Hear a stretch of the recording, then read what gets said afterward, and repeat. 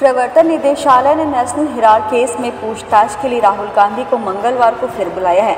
सोमवार को राहुल से करीब 12 घंटे पूछताछ की गई। वह देर रात करीब 12 बजे ईडी ऑफ़िस से बाहर निकले।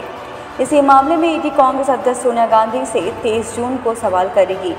राहुल से ईडी की टीम पिछले हफ़्ते सोमवार से बुधवार तक लगातार तीन दिन में 30 घंटे और सोमवार को 12 घंटे पूछताछ कर चुकी है। यानी चार दिन में राहुल से करीब बयालीस घंटे पूछताछ की जा चुकी है।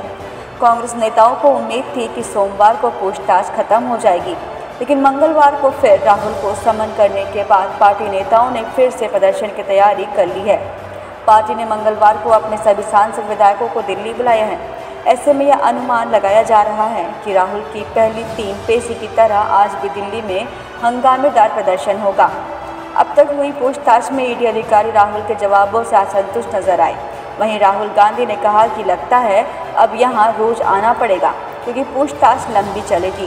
नेशनल हेराल्ड केस में राहुल के अलावा सोनिया गांधी, सुमन दुबे और सैम पित्रोदा भी आरोपी हैं। दो आरोपी ऑस्कर फर्नांडिस और मोतीलाल बोरा का निधन हो चुका है।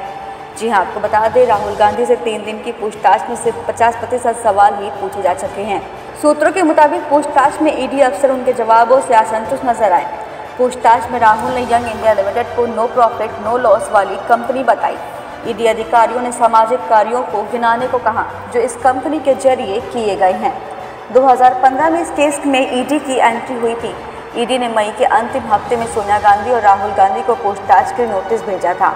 इससे पहले अप्रैल में कांग्रेस के दो दिग्गजों नेताओं ने मल्लिकार्जुन खड़गे और पवन बंसल से भी ईडी पूछताछ कर चुकी है।